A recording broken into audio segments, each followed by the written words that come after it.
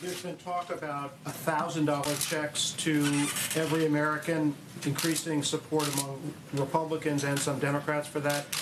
Would you support that going to everyone, or would you support some sort of income restriction on who gets a check? Well, I, I think it's clear we don't need to send people who make a million dollars a year checks. Okay, but uh, we like that's one of the ideas we like. Uh, we're going to preview that today, and then we'll be talking about details afterwards.